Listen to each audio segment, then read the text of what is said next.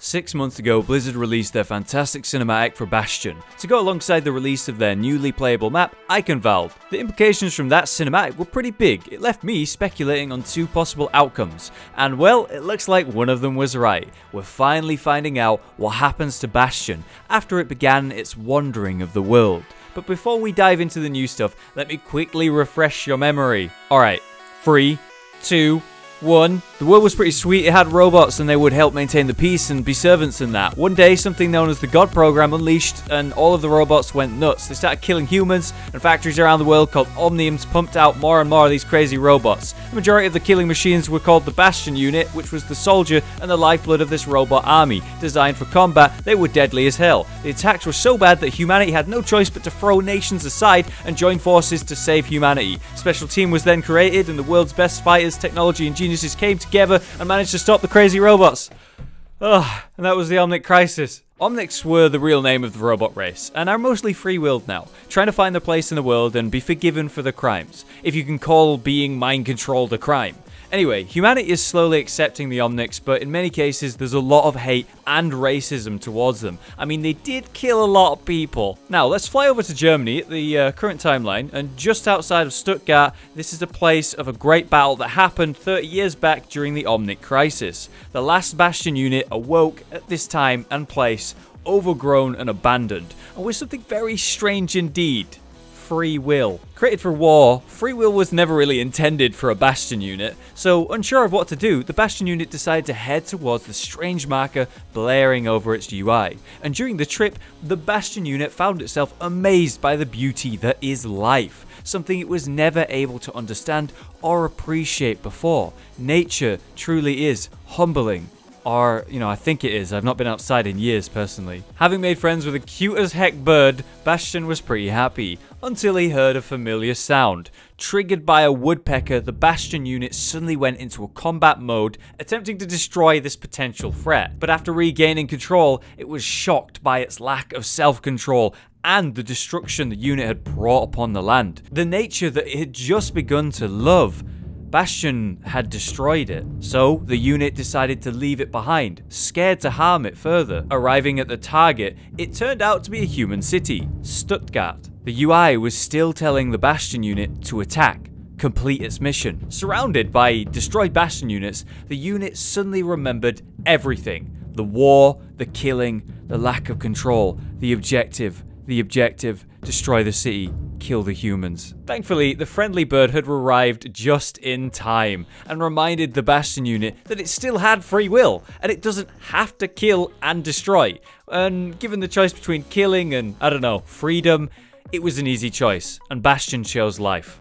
So that's where we left off six months ago, and I hope I could recap that quickly for you. But that's when my speculation came in. We discussed what's next for this cute robot. There were basically two options in my opinion. Based on the Bastion unit finding its way back to humanity at some point in its wandering, and it was known as a weapon made for killing, it would end up being hunted or may even kill first given its lack of self-control from before. Either the newly reforming Overwatch would find the Omnic and attempt to save it, to teach the Bastion unit how to control itself and do no more harm, similar to how Zenyatta saved Genji from a life of self-hatred in his cyborg form. Or, a weapon as powerful as this unit could be used again by the group known as Talon, the dark organization trying to kill the world leaders and take control, actively seeking ways to repower Omnium factories and potentially even start a new Omnic war. So who knows what they could get away with if they managed to recover this bastion and use the tech hidden away in it, given that it's the last one left. With the release of the new comic, Binary, we finally get our answer today. The comic begins a little bit later after that cinematic, in northern Sweden. The very same Bastion unit emerges from the sea. From the goddamn sea! Poor thing isn't looking so good, but apparently it's made more friends, so that's good, I guess. As expected, Bastion encounters humans and they immediately freak the fuck out. Given the nature of the Omnics and the terrible history that it has, the town immediately bands together to discuss what to do, afraid that a powerful, killing machine is walking around their town and maybe hunting them. But thankfully, Torbjorn just so happens to be in this town. Why is he there, actually? Is this town the one he lives in with his wife and many, many children. I mean, good for you, Torb. Like, wow, that's a lot of kids. But seriously, though, I do believe a fair theory as to why Torbjorn's in this town is because there's been multiple sightings of this Bastion unit all over the country as it's got to Sweden, right? So he knows that it exists and he's probably actually hunting it. Just the man for the job, Torbjorn was an original member of Overwatch, but actually even before that, he was part of the elite team that the nations formed to stop the Omnic crisis in the beginning. Given the information about the Bastion unit, Torbjorn knows there's something different about it. It's actually had multiple chances now to kill and hasn't, but despite that, he will not take any risks and offers to hunt the machine. Against Torbjorn's will, he was accompanied by the head of the police, and Torbjorn began his hunt. In the very next scene, it's revealed that Torbjorn was actually responsible for the creation of the Bastion units. Torbjorn created the very weapon that devastated the world. Sure, he never pulled the trigger, right? But he created the trigger in the first place. And we know from the other comics, like in a previous Lore Bite we did, Torbjorn is hunting down his former creations and weapons, taking it upon himself to make up for his mistakes. You know, he seems to spend his whole life attempting to achieve this goal, so that must be a heavy weight to carry. Thanks to the overzealousness of the policeman, however, the trap immediately fails and the hunt continues. But, interestingly, the Bastion unit didn't fight back even when under attack directly, compared to its reaction when it heard the sound of a woodpecker in the original cinematic, where it thinks it can hear gunfire somewhere. Under direct fire, it doesn't attack back, it just runs away. That's different. That's hope. Despite everything, Torbjorn couldn't let go of that hope, walking directly up to the Bastion, even threatening it, risking everything. But the Bastion would not attack, even when it's under attack directly. Torbjorn quickly dispatches these stupid policemen and goes after the Bastion unit for a final time. But this time, not as an enemy, as a friend. Or not, okay, he just directly says they're not friends, but I'm not buying that. Together, they begin a new journey, one that may lead to redemption for both Torbjorn and Bastion. Pretty nice theme. Damn, that's crunchy.